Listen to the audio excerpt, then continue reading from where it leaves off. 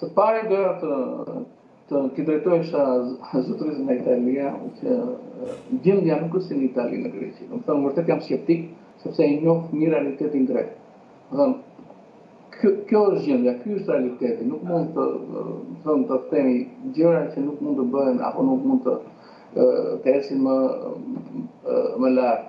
Për sa i përket reagimit të emigrantëve këtu në Greqi, ka pas një reagim, por jo në atë masë aq të madhe. Domethënë, shoqatat e emigrantëve këtu në Greqi kanë pas një reagim, por jo në masën që që që duhet, sepse dhe ata vetë e shohin realitetin këtu në në në Greqi.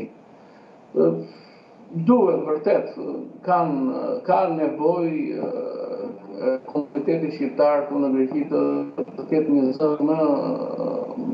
më të lartë, të protestojnë, të protestojnë, të drejtohen ato, por nuk është vetëm në dorën e tyre, është edhe në të dy palët, pra pala shqiptare dhe pala greke, se si munden që të të hyjë në bashkëbisedime për këtë çështje. Po a nuk duhet një nxitje nga qytetarët, nga vetë shqiptarët që preken nga një marrëveshje e mundshme që do dyfishonte financat e atyre që kanë punuar për vite të tëra në Greqi?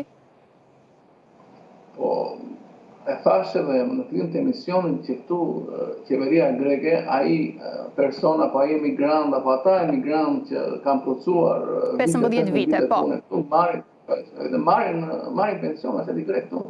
Domethënë, nuk i ka penguar kush mos, mos përfituar pensionin. Po në çfarë mase e marrin këtë pension, është i knajshëm? Nuk është i kënaqshëm sepse dhe pensioni i qytetarit grek është në atë nivel, domethënë, nuk është se është një pension, pension i lartë. Dhe vetë pensioni i qytetarit grek është në atë nivel.